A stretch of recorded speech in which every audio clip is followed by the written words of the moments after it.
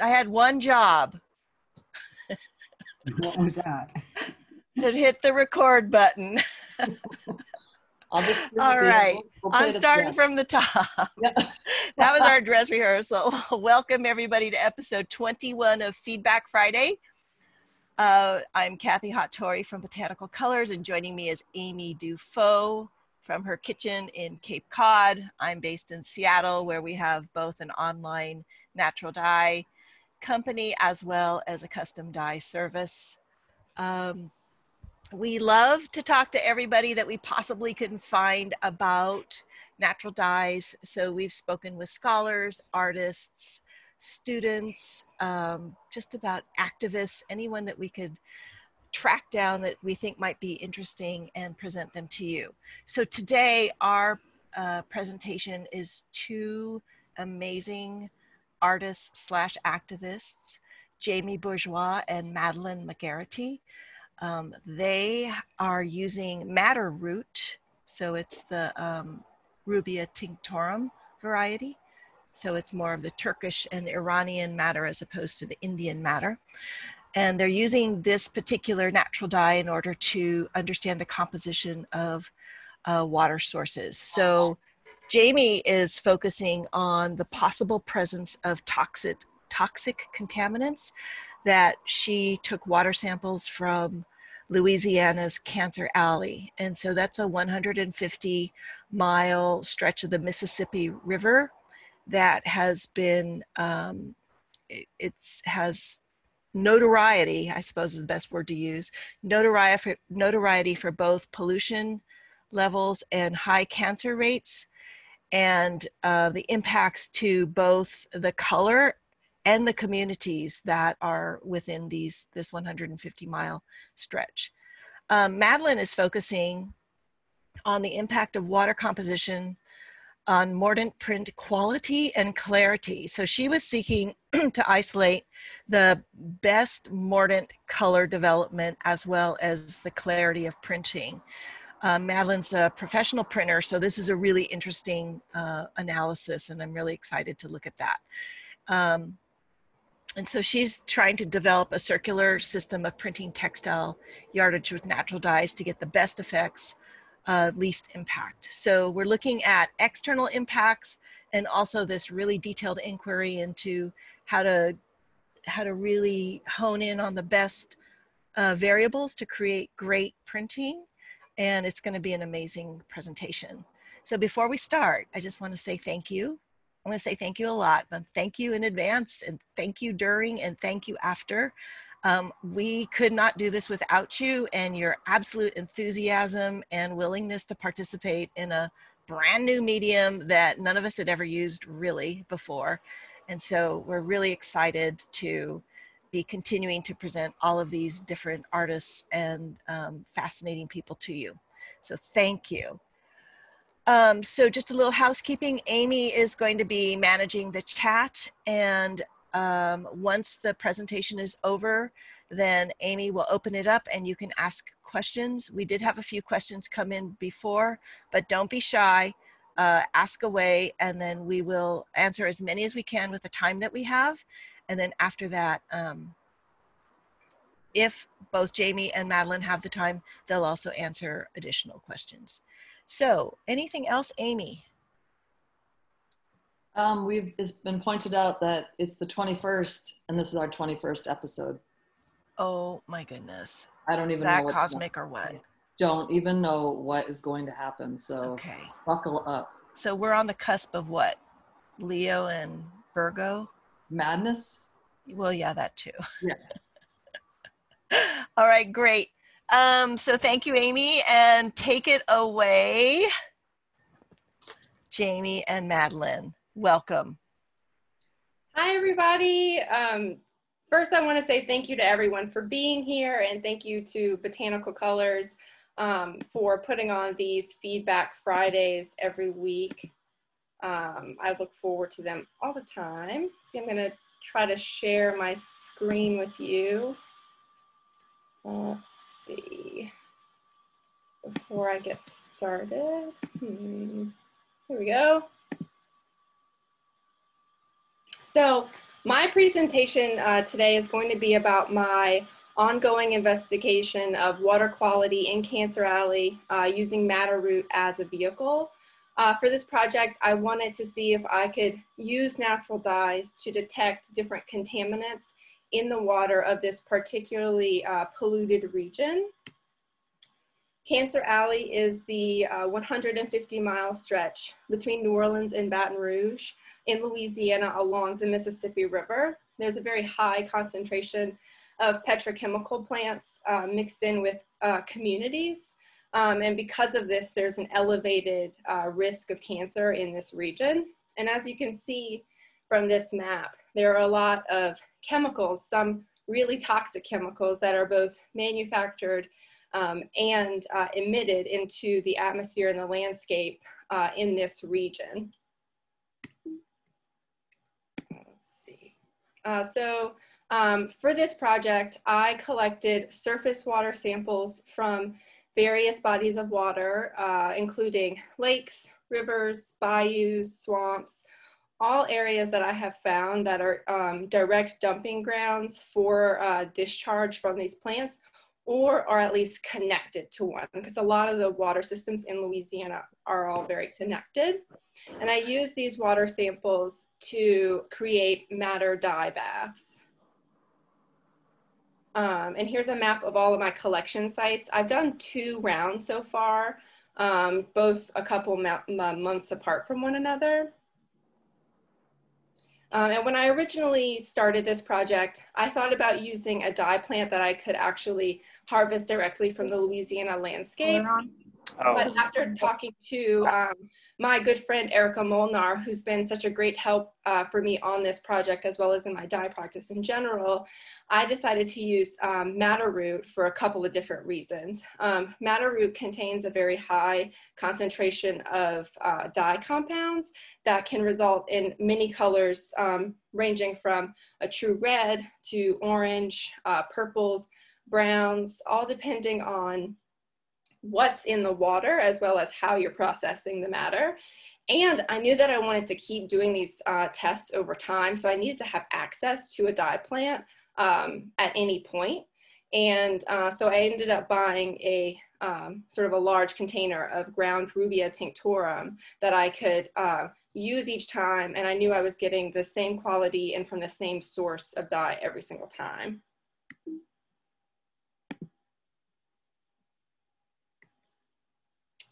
Sometimes my slides stick. Let's see.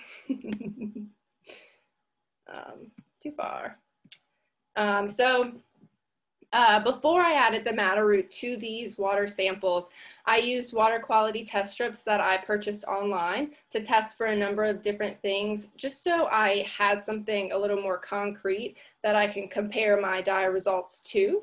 Um, and I also want to point out that um, within each round, I also did a control test uh, where I used distilled water as my base. Um, so the dye procedure sort of went like this. After I collected all of my water samples um, and tested them with the test strips, I added a half a tablespoon of ground Rubia tinctorum to each jar and allowed it to rest overnight. Um, and then the fabric samples that I decided to use, I used uh, four swatches um, uh, in two different fiber contents. So I used a uh, silk habitai and I used a cotton. And then one of each I left unmordanted and one of each I mordanted with an, an alum mordant. And then when I was ready to start my dye process, I put um, the dye bath, which was the water sample, now with madder, I'm calling the dye bath, um, in a stainless steel pot. I added all four of my fabric uh, swatches, and then I slowly rose the temperature over an hour, careful not to boil. And then at that hour mark, I did do a rolling simmer for 10 minutes, and then I rinsed my samples um, in tap water and I allowed them to dry. And these are all of my results from round one and round two. And I'm still doing, I was trying to like piece the puzzle together and sort of figure out what's going on here. But I have found that I have a couple of things that I need to look more into. And those are the um, geology of the natural landscape in this area um, and to sort of see what would be in these waterways uh, without any pollution or uh, human interaction. Um, and then I'm also looking at the pollution um, that is um, emitted and discharged from these different plants in the area. And then third, sort of within both, I'm really interested in how, um, what the pH, um, hardness and softness, and uh, total alkalinity is within each, because I think this uh, is sort of what is gonna be manipulating my fabrics most. Um, that and um, also any presence of uh, different metal salts. And you can sort of see here that there are sort of two different sort of groupings that I found. There are the pieces that dyed um, much darker throughout, and then the pieces that dyed a little bit lighter throughout. And then I have two outliers, both of the B samples. Um, and here, my next slide, I sort of grouped together the, um, the two sort of groups that I was just talking about, and I compared them to the water quality set, uh, uh, samples that I got. Um, and I've noticed that the pieces that dyed much lighter throughout had a slightly higher pH and uh, recorded some kind of alkalinity, whereas all of the samples that had that dyed much darker throughout um, didn't record any alkalinity except for D2, which was an outlier uh, in this set. And then um, all of them had a um, slightly more acidic pH. So in order for me to um, better read all of my dye results, I decided to do um, another round of testing, what I called my control test, where I used distilled water as the base of all of these um, dye samples. And then I included different substances that I thought could be reacting or manipulating my dye results from my water sample. So I included things that would manipulate the pH, the hardness and softness, as well as the alkalinity. But I also included a couple things that I thought could be in the water, like tannin or aluminum, ferrous. Um, I also included um, a source for phosphorus, and I included um, Miracle-Gro, um, some synthetic fertilizer, because there are uh, two synthetic fertilizer plants um, on the Mississippi River near where I collected my water samples. Um, and here are all of my results uh, so far. And I could spend so much time uh, talking about comparisons and sort of what I think is happening, um, but that would take up um, more than a day, I feel like. So I've actually just selected two comparisons that I, um, I wanted to focus on today. Um, so on the left-hand side, um, I am comparing the chalk control uh, test that I did with one of my Mississippi uh, River samples. And as you can see, the water quality um, values below are nearly identical, but the dye results are not. So I think that's pretty interesting and something to dive more into.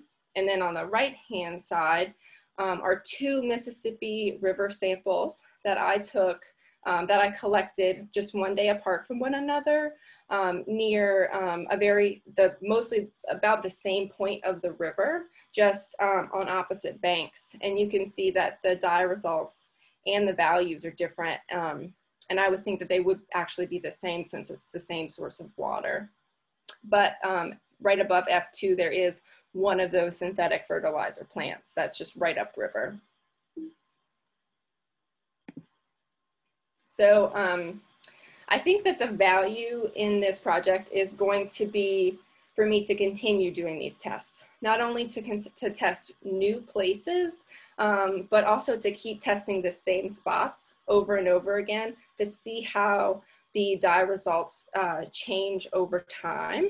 Um, I spoke with an environmental scientist over um, the last weekend, and he told me that the industry motto is uh, the solution to pollution is dilution. Um, I know that uh, these plants are emitting toxic chemicals into the waterways and into the air because the public has access to all of their air and water permits. We also have access to their discharge monitoring permits, their accident reports, and the EPA's toxics release inventory. And um, I would encourage everyone to look at the toxics release inventory uh, tool on the EPA's website whenever you get a chance. Um, so, you know, what I don't know is that if these specifically toxic chemicals that I'm seeing in these permits um, would even have an effect on a root dye bath. Um, I don't know if like radium 226 will shift the color of madder root, or if dichlorobenzene will sadden colors, or if sulfuric acid will actually brighten them. I don't know if mercury captures particles like other metal salts, or if other endocrine disruptors like lead, dioxin, and arsenic will increase uh, dye absorption or manipulate a madder dye bath in some other way. Um, but if I can get to my last slide. um, what I do know um, is that Cancer Alley is seeing an, an expansion in uh, chemical plants coming into the region. In 2014, the St. James Parish uh, Council voted to change the um, land use plan in the fifth district, which is a predominantly um, Black community, from residential to residential future industrial without getting the consent of the residents in the area. And this has invited industry to just come on in. You can see all of these darker pink areas are all new plants coming in and all of the lavender are existing facilities in the area. There are two um, on the ground uh, activist organizations, Rise St. James and the Louisiana Bucket Brigade, who are working to fight both the uh, state and local governments against the construction of a new uh, plastic plant called Formosa. It's um, a 14 complex um, plastics plant that will uh, double the amount of toxic air pollution in the, in the parish. Um, it will emit 800 tons of toxic pollution every year. The plant will displace and destroy over 100 acres of wetlands. It is going to be built on top of newly discovered grave sites of enslaved people and is going to be located just one mile from an elementary school. But the danger doesn't just stop in St. James Parish, even though it is very dangerous for those residents. On an alarmingly warming planet, Formosa will constitute the largest new source of greenhouse gases from a United States petrochemical complex since 2012. The complex will release 13 million tons of carbon pollution each year, not to mention its sole purpose is to make single-use plastics, which is something we just don't need more of. Um, so with the close of my presentation, I really urge all of you and ask you to please consider supporting both of these organizations, spreading the word about Cancer Alley, and signing their petition to stop Formosa. Thank you. Jamie, thank you. That was amazing, beautiful, and just so sobering to hear about the issues with um, the Formosa plant um, and the fact that it's being just built with total disregard for pretty much anything, you know? Yeah. Mm-hmm. No regard for the planet, no regard, of course, for the, the residents and the area. Um, they obviously got a great deal from the either the local government and or the state of Louisiana. Um, we will have all of that information mm-hmm. uh, in the blog post as well as um, Amy sends around uh, an email with all the links to the video. And yeah, I totally encourage you to become informed.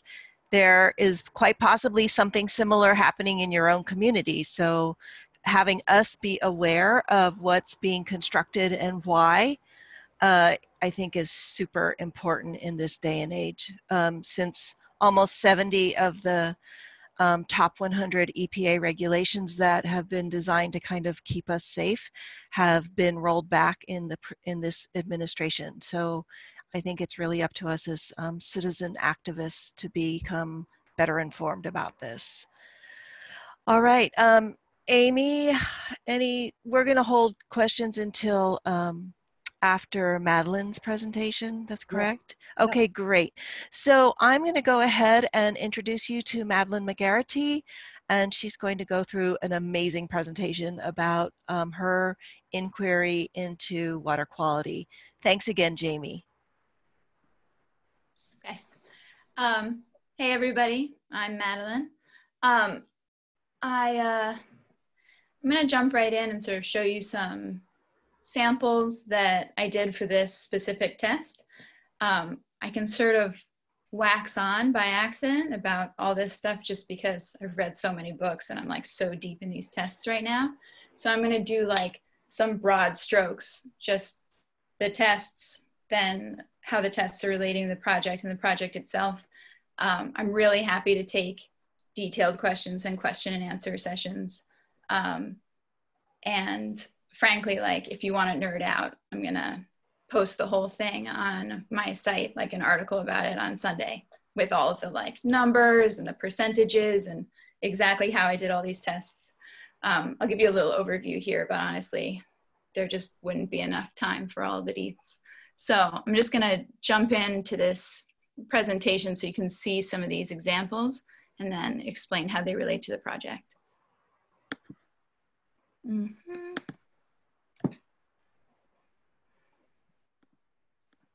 Okay. So, uh, here are some examples of tests that are disasters. Um, earlier on in the sort of like building up to testing all of these things, I was having a lot of problems and I couldn't figure them out. And luckily, I stumbled on uh, the first part of Jamie's sort of testing with water, and I saw the huge difference that she got between all of these sort of different water samples, and realized just um, just sort of how sensitive madder can really be. Um, it's always sort of been my dye nemesis. Like it never worked for me the way I wanted it to before, and I sort of assumed that that's like where I was going to top out. This is just a selection of sort of like prints that haven't gathered color very well, prints that didn't print well. And like, this is just what I was getting for a very long time. Um, so I decided to start testing water that was around where I was around, like close by. And you can see the huge difference here between tap water and the tap water where I live is like really hard, very hard, very neutral um, pH, which I thought was desirable, but turns out that rainwater, which is a pH of like 4.5, at least where I live, um, is obviously just gives a much more vibrant red. I use Sally Fox's Fox Fiber here. It's a uh, cotton that grows with a color, and the colored, like cotton part of the weave gathers color so much more vibrantly than the white cotton. Um, she explained she she explained it to me once. It's complex sort of chemistry of how the the colored cotton gathers color from natural dyes a little bit more than white cotton. Um, feel free to go to her site and check out her awesome textiles. So here's the first run of test prints that I did. Um, just a little word about the process. Um, for I used 100% weight of madder to fabric um, if it was a print because I figure it's about 50% coverage and like that's sort of how you run prints and you decide how much you're going to use. Um, if I put the later tests, I added some other um, sort of samples too. And if there were flat color samples, I upped it to like 150 if there were a couple of flat color samples, or 200 if I thought there were more flat color than not. Uh, but you can see how the tap water really gathers a background tone and doesn't gather a dye very well. And the lake water does the opposite. It really has a totally clear background and has done a much better job color wise. Like it even, the tap water even repelled the iron print, which is usually the sort of like ballistic print where it's really hard to mess it up. Um, so I'm just gonna go through, you can see it closer here the gathering in the background and not. And it's dehumidifier water and river water. Um, tap water with hardness, this hardness sort of blocks it and gathers color. And I found that waters with high organic content in them, like organic matter content, also perform the same way, though the river water isn't really hard at all. It's a soft water source. These are the winners of all the tests I've done so far. Um, two different types of rainwater, and a dehumidifier water. Uh, the dehumidifier water, frankly, works very similarly to uh, distilled water. it's just sort of a dead water. It doesn't have anything going on. Um, the rainwater, the unaltered is uh, that I collected it like out in the open, and the altered is that it came off my roof, and my roof is, you know, full of leaves and stuff, so it has a little bit of organic matter in it. Um, am I, yeah, there we go. Um, so this is just a little bit closer, a little bit of a closer spread so you can see them better. And I also made a little chart. Mine's a little bit less technical than Jamie's. Um, but I have a couple different water testing things. I had this 16 in one test, and frankly, a lot of it came out as nothing because half of the things you're testing in a 16 in one test are like for pools or whatever. So I didn't include that. And then I had Hydrion and pH and hardness test strips because they were a little bit more sensitive. Um, in future tests, I'll be, I will be testing distilled water. I know that there was a question about that um, in the questions that people sort of sent in for us. Um, distilled water is obviously great for dyeing with natural dyes. It's just that um, because it has to get made, I don't really consider it to be a viable part of a sustainable printing system, just because either you have to get it delivered to you, um, which involves cars and plastic bottles and blah, blah, blah. But also like you know you could buy a system to distill your own water. They're just prohibitively expensive for a small business and you know run on electricity and sort of ruin the circularity of a possibly very sustainable system. Uh, and i i just feel like a shop could really get along with a mixture of sort of like collected rainwater and dehumidifier water because you're going to have to dehumidify the studio anyway to get crisp prints or like reliable prints it's just the way it is um, Obviously, if you were running a studio in like Arizona or something, dehumidifier water would not really be an option, nor would rainwater. Um, so some of the future tests I'm doing are to um, manually soften water. There's a way that you can mix in like lime and or lime and soda ash to try to precipitate metal salts out of water. And perhaps that would work for shops in drier areas. I'm, I don't want to postulate whether or not it works because I haven't frankly tried it yet. Um, but those are some of the future tests I'm doing. I'm going to do a test with Bran too because of some of the things that Jamie found in her tests.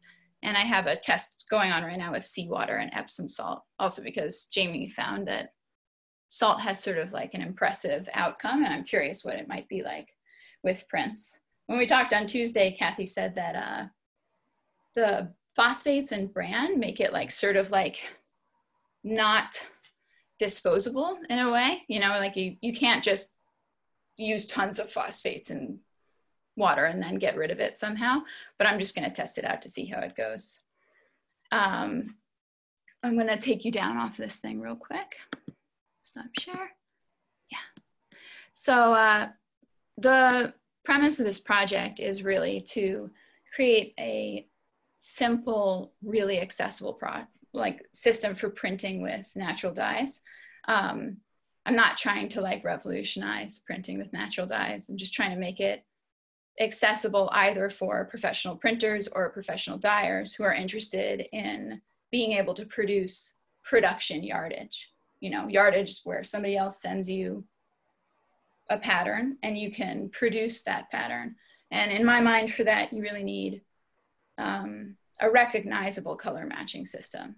So I'm going through the sort of like royalty of natural dyes, the dyes that are, you know, understood to be extremely permanent, pack a real punch, um, you know, like indigo are helpful in conserving water because that is definitely uh, the big complaint with natural dyes is the water usage.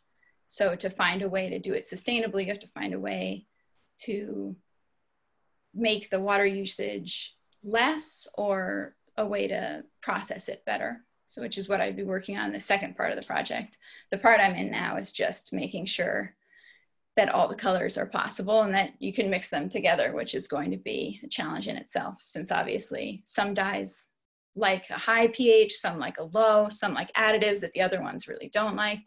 Um, I don't know. It's really, really interesting. So I'm happy to take any questions about it. I just, uh, I'm really excited the way that sort of a the fiber and textile community in America is sort of working towards this ability to be able to produce US made textiles, like the fiber shed idea, where there's just lots of little businesses working as an ecosystem. Because, I mean, little businesses anyway really support each other, but it'd be amazing to be able to do the whole the whole spread of you know growing weaving sort of like dyeing and printing and finishing in america as a small sustainable system.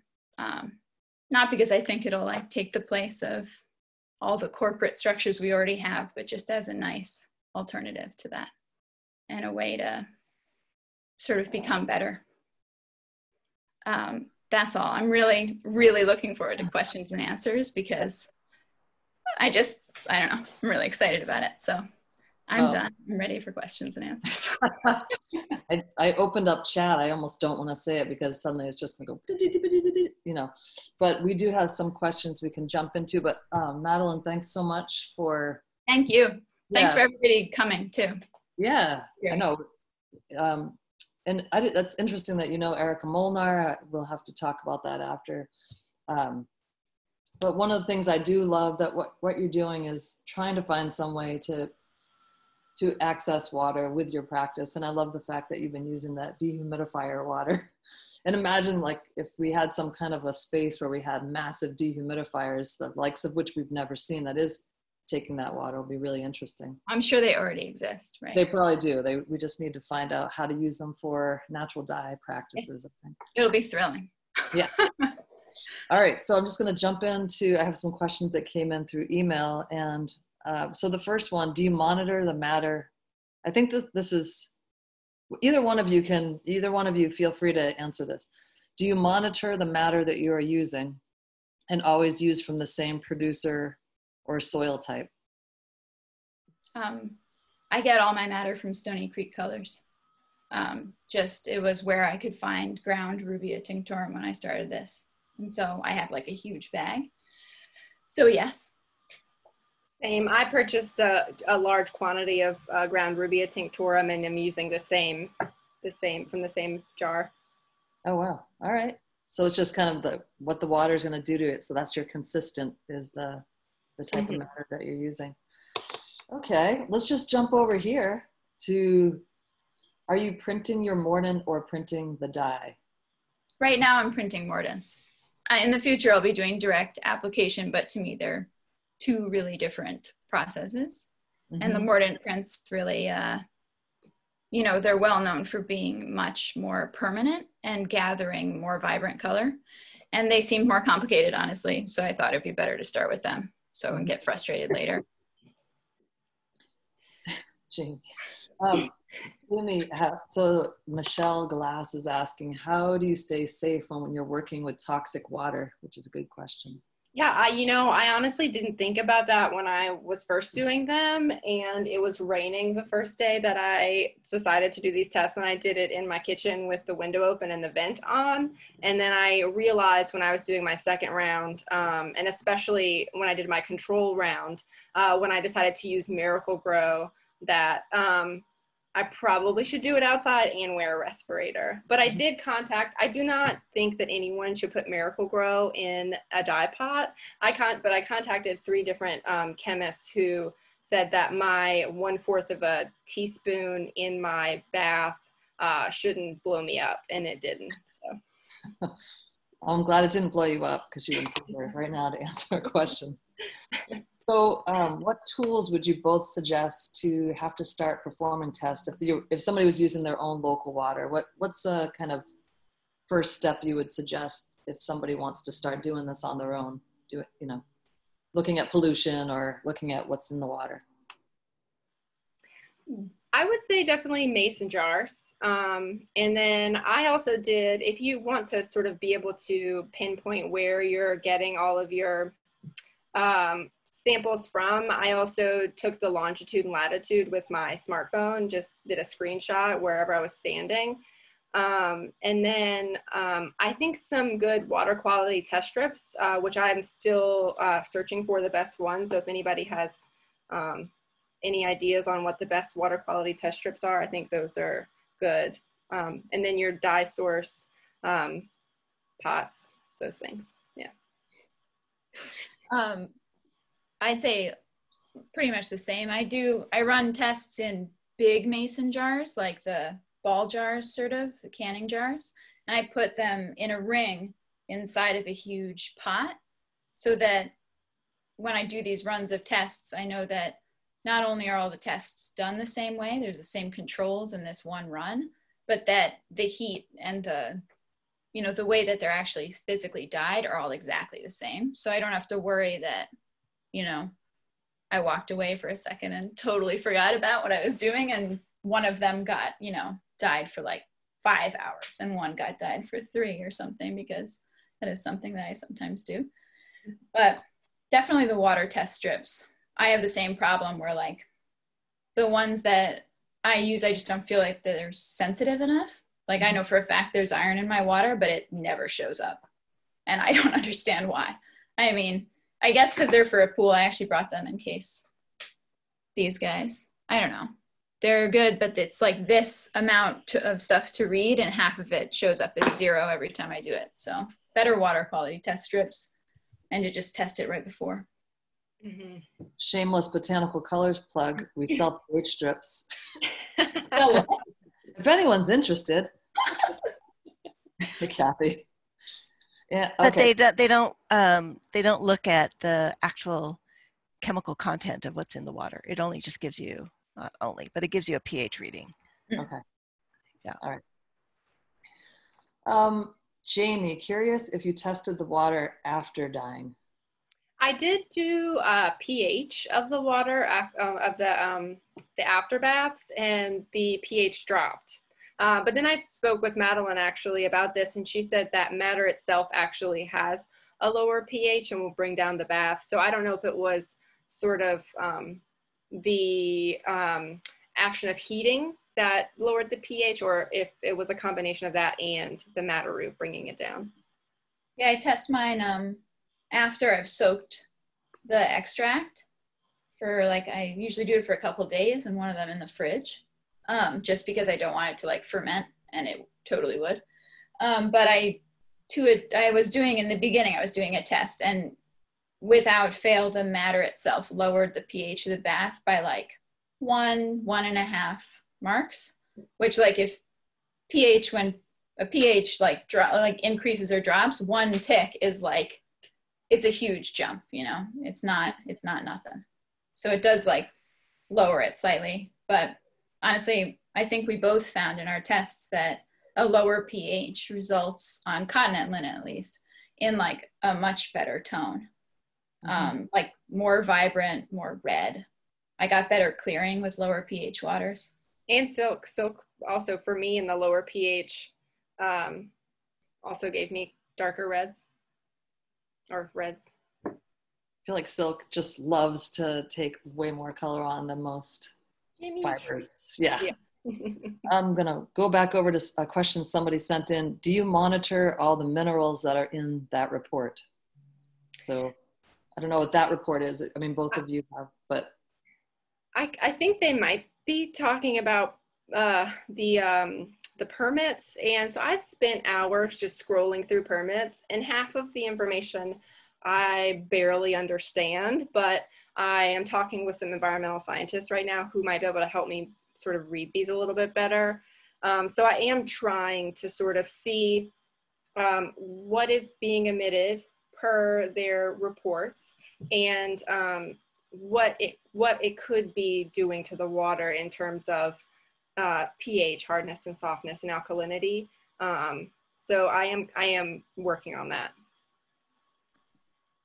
All right. Um, you know, somebody brought up a good point here that I know you're using Sally Fox's cotton, and Sally mm-hmm. Fox is part of the Fibershed in in Northern California, and there are fires burning right now, and so Helen Kennedy is asking us to sort of just kind of keep that in mind. All those Fibershed people out there that are going through a lot, and including Sally Fox, who you can follow her right now and see the madness that is her farm right now with the forest fires uh, or the fires. Um, lots of great examples here on the chat of how to get water and using you know different types of water. Um, just going through lots of good comments. Like somebody's here from the Net Loft, Kathy, from Cordova. Um, okay, Katie Kaplan, Madeleine, I'm really impressed by the strong white in your unmordanted areas. I saw on your Instagram you do finishing baths to remove some of the pink from those areas. What method is that? Um, I do a bran bath with a little bit of Synthrapol. I guess I use Prosopol, the sort of um, sustainable, more alcohol-free version of Synthrapol because Synthrapol has a kind of high alcohol content. And that's just like a neutral pH textile processing thing I get from uh, Prochem. But um, that's Prochemical and Dye, sorry. that's like their whole name.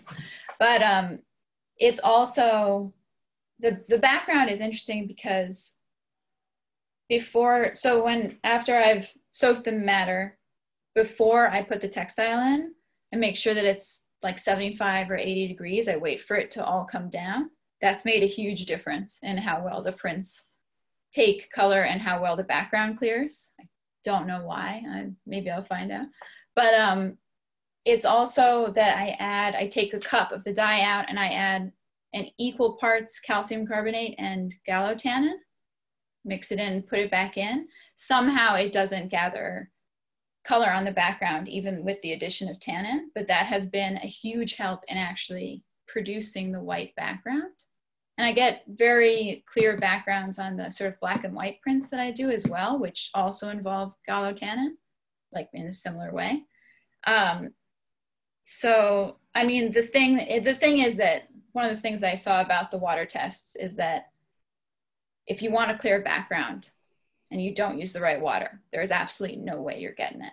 Like, if you don't use sort of like dead water to begin with, like rainwater or distilled water or like dehumidifier water, you can process that at the end however much you want and it is never going to clear because it's just on there. It's on there the same way that dye's on there. Hmm. But that's how I get the really clear backgrounds, the water. Somebody was asking and talking about the water and kind of temperatures. They were asking if the water temperatures alter. Well, maybe I'm putting it the way I think it is, but does the temperature requirement alter with a different type of water? I mean, I made sure to do all the temperatures all the same as part of the control. Okay. Same. So no, for yeah. me. I mean, maybe in the future you'd find out that, but not with these tests. Mm-hmm have, I guess either one of you can answer this. Are there any tips on reducing the amount of water on scouring, mordanting, and then dyeing? Do you, do you use exhausted mordants? What is the best way to dispose of them? Lots of questions in there, but maybe focus on the water part where some tips that you can give that you've been able to conserve water. You want to go? Should I go? I think you should go because I'm not sure. Jamie's like, I want to think about that for a minute. Um, tell me. uh, I don't. Uh, I don't pour mordants in my dye bath. I pre-mordant my fabric. That's a great way to conserve water. An alum mordant bath will last pretty much forever just because it's so alkaline. You can just store it and keep adding to it until it, uh, you can kind of see it if it starts to gather too much tannin or, you know, from because I go back and forth between the baths and I rinse them in between, but sometimes tannin accumulates in the alum. Um, but yeah, pre-mordant your fabric, don't pour mordants directly into your dye bath because you're just forcing your dye bath to be something that's hard to deal with, like hard to dispose of properly. You know, you're making it toxic, more toxic than it needs to be. And so that I make um, lakes, you know, pigment lakes out of my out of my sort of like exhausted dye baths. And honestly, like if the dye bath doesn't contain something that is toxic, I compost them. You know, I use them for like, I actually have a test running now with some madder beds, and one has sort of like what you'd get compost wise and water wise from a studio, and what you'd get from your house from a normal situation. So that's like I don't know, and sort of like have the different baths ready so that when you're processing things, you go from dirty water to less dirty water to less dirty water. You don't need to throw it out every time. But that's definitely going to be like the biggest question in the process is that I'm trying to sort of develop is how best to not waste water as much as possible. Because I think we all know how much water natural dye takes. Yeah. yeah. Jamie, do you want to add anything onto that or did you come up with anything brilliant while she was talking? Um, I think in, in my my studio practice when I'm dyeing scarves and stuff, I never um, am really trying to get a specific color. I like to just sort of like do this color and do this color, and then I'm gonna mix these two. So I actually keep my after baths um, in in jars, and I I will reuse them over and over again uh, until I can't get any more dye out of them. So it's one way. All right. Uh, Deborah Barker is asking, typically we're taught that a more alkaline dye bath is good for deep red madder, but am I reading correctly that both your results are showing the opposite? And have you yes. had similar results on wool? Um, I do a little after bath of wool and silk just to check, um, which come out orange. I know that that was a question in one of like the emailed questions. Um, but yeah, I just don't think from the test that I've done, I feel like that it must not be true. That like it's because I've heard that too, the alkaline thing. I think Jamie has as well. That that's like the prevailing sort of. I think idea. it's less alkalinity and more if you mineralize your water. But some of the minerals will actually raise the pH, making it alkaline.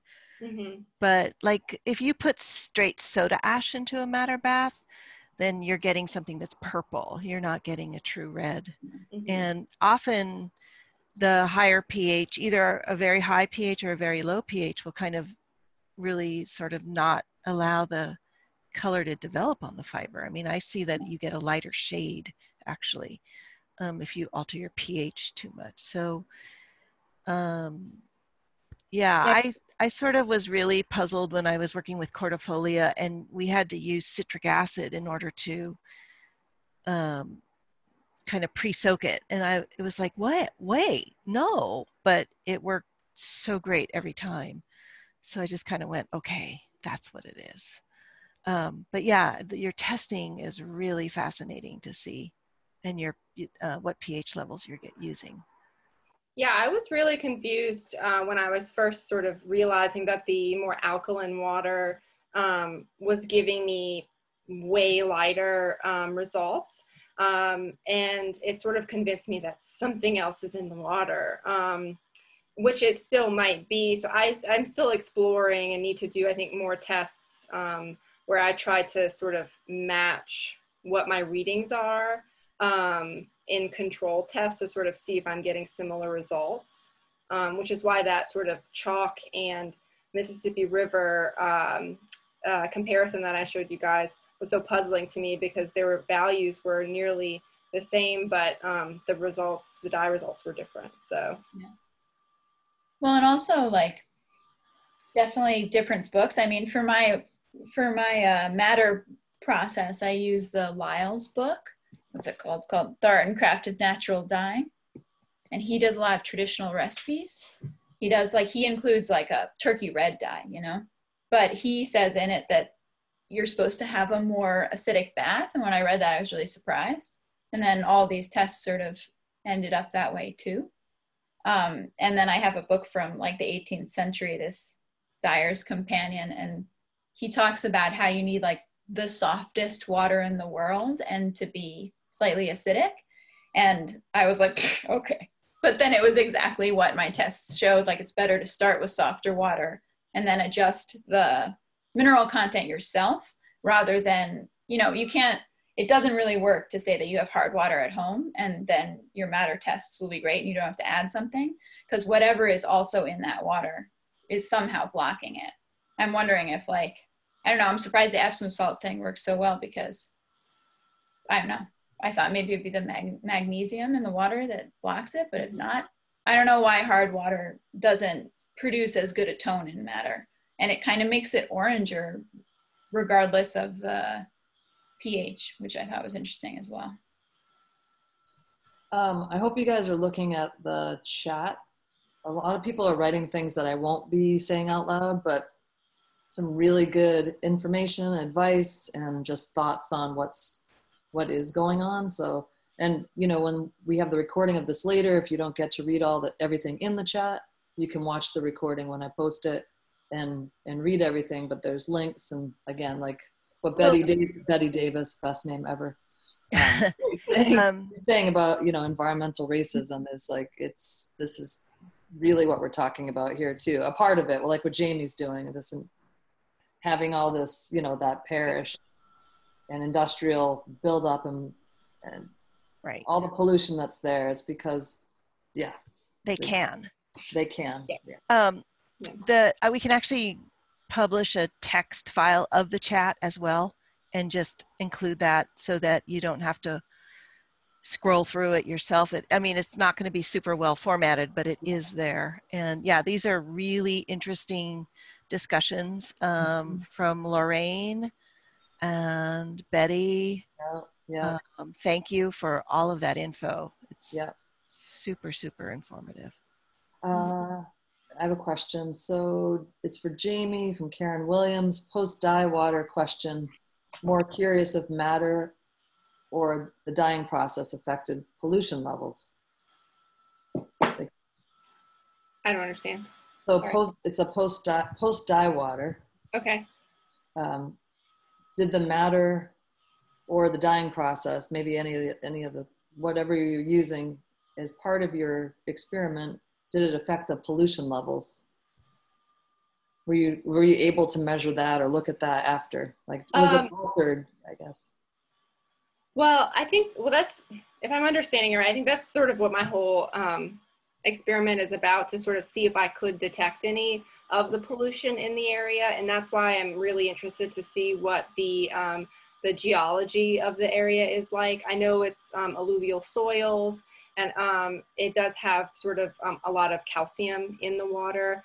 And I did recently speak to um, a scientist who told me that the Mississippi River naturally is very alkaline because it has lots of mineral content that's bringing all the way up north, all the way down south. Um, so I'm still sort of trying to um, suss out and figure out what um, what's sort of happening and what I'm actually even able to detect with madder. Did that answer the question? Sure. um, yeah. So, you know, I think we're going to take one more question. And thanks everybody who's posting links to find Sally Fox on Facebook and Instagram and learn more about what's, what's happening. So somebody was, every time somebody put something up, all of a sudden the question disappears that I was going to ask. But basically the question was, you know what are your both what are your, both of your backgrounds that you're coming to this are you textile artist or you we were kind of talking about this earlier you're a scientist are you an activist like what's your if you were to call yourself one thing and why you're coming at this project in the way that you are what would you maybe label yourself as you can go first Madeleine. Oh. um, uh, i was a professional textile printer for a while, I guess, since 2012 and um, in Brooklyn, like production textile stuff, you know, yardage, but also t-shirts and things. And um, so I really saw the inside of the sort of like smaller version of the textile industry. Um, and I went to school for fine art for making that was mostly mostly like lithography and intaglio. I went to RISD up in Providence. And um, didn't expect to be a silk screener, but I ended up that way just because that's where I ended up. And I really fell in love with sort of yardage printing. Um, and then later on, I got really interested in natural dyes and anything that can be printed, I'm really interested in. So I forget the second part of the question. Was there a second part? What do we consider ourselves or something? Yeah, like you're going to say, Hi, my name is Madeleine McGarrity, and I'm a. Well, I guess a designer textile designer, something like that. Maybe a textile researcher at this point because I don't really do the other thing anymore. But um, also, I'd like to say that um, Helen Kennedy in the chat said something about collecting, like um, distilling or distilling water with solar power or something in Arizona and collecting rainwater. That would be, I'd be really interested in that. I don't know if I can get my information to her or something, or she can send me an email, but um, that would be great. Just wanted to say that before I get off. but go um, ahead. I consider myself a textile designer illustrator. I got um, a BFA uh, in fibers from SCAD. Um, and I, in my studio practice, um, create uh, naturally dyed and printed uh, utilitarian textiles, so mostly scarves that all, um, the illustrations all sort of tell a story um, about a certain environmental issue happening. Um, so for instance, I have um, one about native pollinators and it comes with an essay that I wrote uh, that talks about native pollinators, the human impacts, um, their decline, and sort of ends with a list of all the things that we can do to help support those ecosystems. So, and then I'm from Louisiana and um, was trying to figure out how I could use what I love to do and what I, um, what I guess my talents are um, to sort of highlight to the rest of the world what's happening and trying to get people on board to help us um, stop it. Well, thank you so much, the two of you. I like that we were able to take way more questions this time. Woo! We did it. You guys did it. You like chopped down your presentation so you could answer a million questions. And there's yeah. still more questions we didn't get to, but Kathy? But, yes, Kathy, ma'am. Uh, it's your turn now. Oh, thank you. I'm uh, live here in Seattle. Oh, live wait, that's my phone. Seattle. Kathy, Kathy. Here. Here's my microphone. Hello, everyone. Can you hear me? Hey, thanks so much, Jamie and Madeleine. That was amazing. Um, I have lots of questions myself, but we'll save it for another chat. And um, Amy will be assembling the video as well as the chat and information. Um, before we open it up for goodbyes, I just want to talk a little bit about what's coming up. Um, just to remind you that we have one last um, class with Abubakar Fofana scheduled, but we've been getting requests for additional classes and um, unfortunately, uh, Mali just had a, a, military coup, and so the border is closed again. He cannot go back to Mali. So at this time, so he is going to stay in Europe, and so I guess that's great for us because we could ask him to do more classes. Mm. But um, the farm is fine. Everybody on the farm is fine. They're way away from the capital, so um, they're good. But you can't go in and out of the country right now. So he's just going to wait until everything settles down, and then he'll be leaving. But until that time, um, we'll see what we can do. Also, Porfirio Gutierrez, who uh, gave a presentation a few weeks back, is doing uh, an in-depth um, study on cochineal using the Zapotec methods of achieving um, a beautiful red through overdying. So um, that class is up and we're still taking registrants if you're interested. Uh, we also have a scholarship program with that and you're welcome to apply. Um, and let's see what else is going on. Those are the two biggies. But for next week, next week our presenter for our 22nd Feedback Friday is Kristine Vejar and Adrienne Rodriguez from A Verb for Keeping Warm. Um, those of you who know, they are the dynamic duo behind both a, an Oakland-based um, fiber studio as well as yarn production and natural dyeing. Kristine is the author of The Modern Natural Dyer, um, which is a wonderful book that goes through raw materials, extracts, and indigo. So if you are dabbling in all of those worlds, it's a great place to um, look and get information. And it's project based, so there's projects for a lot of the things that um, you would be interested in uh, as well as Kristine. I could find it. Oh, you know, uh, is it Amazon? no, we have it. We're yeah, right. Botanical Colors. Botanical Color. That place. Botanical Colors carries this book. Uh, we uh, just ran out, but we have more coming. I just got a UPS shipping from um, the publisher, so it is on its way in. Um, the other thing is Kristine actually has been researching and writing a new book and it's called Journeys in Natural Dyeing, and it's published by Abrams, and it'll be out in October. So we will pre-order that book, and also have maybe, I guess in October we're still going to be kind of social distancing, so we'll probably have a virtual book launch or something with um, Adrienne and and um, Kristine. So join us next week for that, and without any further ado, we're going to unmute everybody, and you can all say goodbye we're still working on the outro um, theme song, but Amy will have that with it for us soon. Are you I'll, gonna I'll keep trying. sing something? What'd you say? Are you gonna sing something? Well, it's the end of the week. Now, where you been? Well, now it's feeling We can just talk over it, Yeah, we're gonna have to. looping it. Bye, everybody. Here goes the Bye. Bye. Thank you. Who was the best Thank you. dancer? Great. It was great. Bye, guys. Bye. Bye. Hi, Anne. Thank you. Bye. Bye. Bye. Bye, guys. I don't know how to turn this off now. Hi, Liz. Well, Bye. we're in it. Bye. Thanks. Are these the outtakes? This is outtakes with Diane Becker. Hold on. Oh, yeah. Oh, hi, Diane. Oh, Hi, Sasha. whoa. It'll keep looping. Oh no. Oh, oh no, don't, don't wanna, no, like, no, no keep more. no Blasting more. you guys with Feedback more. Friday, but it is an earworm. It will get is. to the ear- It's terrible. I can tell when my stress level's going up because I start singing it to myself. It's like Just send it to Kathy. but- almost showtime. Almost the end of the showtime. week. Stop. guys. Bye. Bye. Bye. Bye, Okay. I'm Well- stopping the recording now. All right. Goodbye.